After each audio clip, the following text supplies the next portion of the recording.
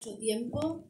Eh, lo más interesante, creo yo, de este proceso fue algo que soñábamos desde hace mucho tiempo, eh, que era trabajar en conjunto con otras tantas colectivas y esperamos que para la próxima acción seamos aún más.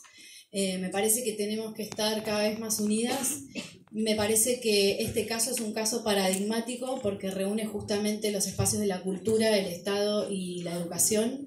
Em, estamos acá también trabajando con las chicas de la UNA, es muy interesante también trabajar con estudiantes eh, para visibilizar estas cuestiones.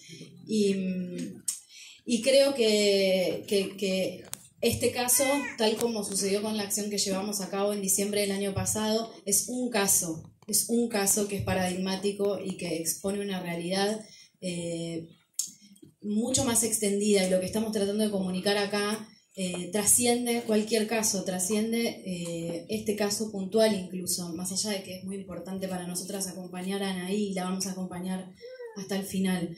Eh, queremos que cambie el sistema, estamos apuntando a algo mucho más grande.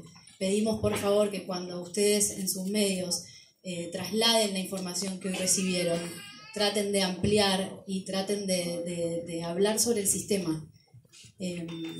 No sé si respondí, pero bueno, gracias. Bueno, muchísimas gracias.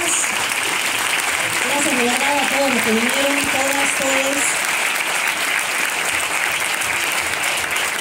Reitero a los medios de comunicación que están aquí presentes, en breve recibirán el comunicado, este que estuvimos leyendo con las compañeras, y un adelanto de los spots para sumar a la difusión. Nuevamente, gracias al Auditorio Bowen por el espacio, acompañamos también la lucha de ustedes y estamos juntas y organizadas.